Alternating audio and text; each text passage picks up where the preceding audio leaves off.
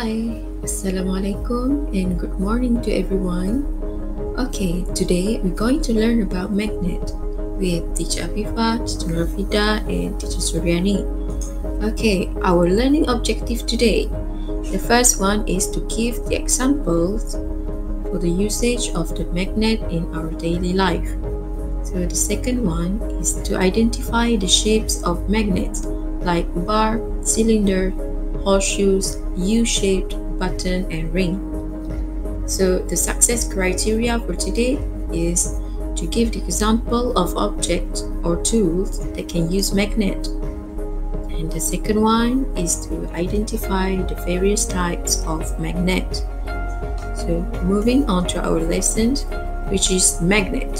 So the first thing you have to know is what is magnet?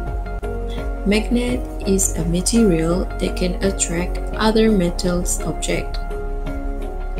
So the magnet is very useful in our daily life. Alright, so we're going to, to look at the uses of the magnet in our daily life.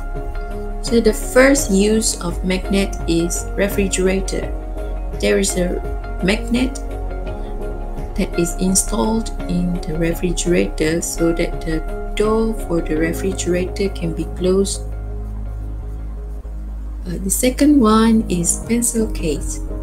So there is magnet in the pencil case so that it can close tightly. And the third one is on the name tag. There is magnet on the name tag so that it can stick to your cloth. And the fourth one is magnetic screwdriver. The magnetic screwdriver can attract the screw so that it won't drop when you are using the screwdriver. And the fifth one is the magnetic chessboard magnetic chessboard also have magnet in it. And the last one, the back. There is also magnet used on our back. So these are the uses of the magnet. Alright. The next lesson is the shapes of magnets. There is a various type of shape of magnets that you need to know. So these are the shapes of magnet that you are going to learn today. So the first one is the bar magnet. So the bar magnet is a magnet shaped in bar. So the second one is cylinder magnet.